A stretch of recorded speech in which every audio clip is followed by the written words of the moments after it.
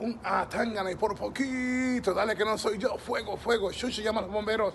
Feliz año 2019, aquí tu pana, tu cuate, tu amigo, tu hermano Hugo Sabinovich. Eh, no tan fría la, la noche o la tarde aquí en Nueva York, estamos disfrutando de los juegos de fútbol universitario, pero vengo a darte la noticia, All Elite Wrestling de los Young Bucks y Cody Rhodes han dado una notición, el programa en vivo de SmackDown Live del martes enero 8 será en Jacksonville. Y es donde precisamente estarán los Young Bucks, Cody Rhodes y las estrellas que participarán en su primer evento en pay-per-view de All Elite Wrestling. Estarán en el estacionamiento al frente de la arena donde se presenta SmackDown ese mismo día, ese martes.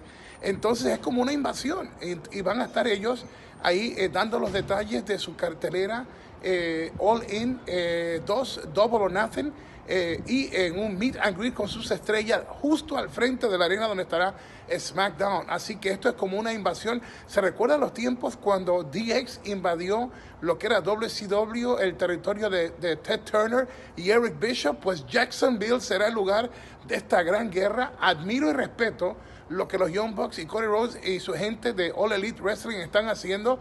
Van directo atacando, gran psicología, les da fuerza.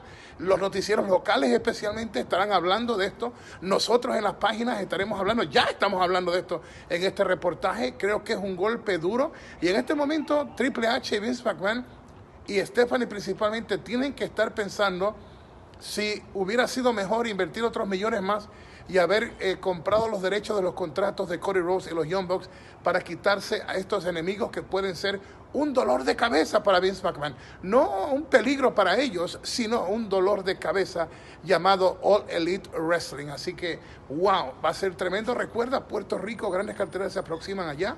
Estará WWC con su evento Euphoria 2019, Mayagüez y Guaynabo. Estará eh, CWA presentándose en el centro de convenciones.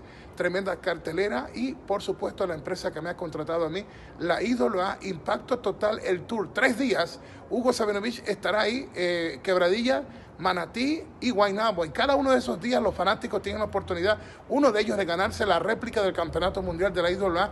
Más detalles en los anuncios de IWA para que sepas cómo puedes participar. Estaré contigo los tres días de Impacto Total, el Tour.